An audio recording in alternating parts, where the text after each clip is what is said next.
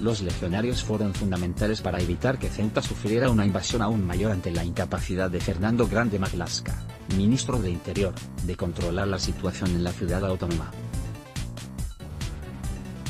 Fue el lunes cuando miles de inmigrantes ilegales, con la complicidad de Marruecos, que permitió que cruzaran su valla, invadieron Ceuta superando por completo a las FSE españolas, que se vieron desbordados ante la avalancha de marroquíes que entraban en territorio español.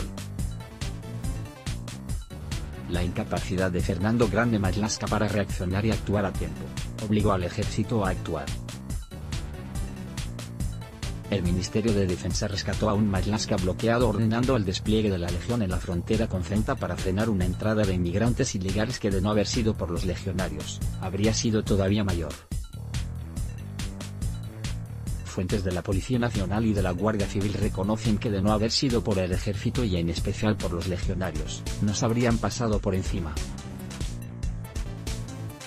Los legionarios, al recibir la orden de proteger la frontera con España, se prepararon para una jornada agotadora que solo ellos, con su entrenamiento, pueden soportar sin excesivos apuros.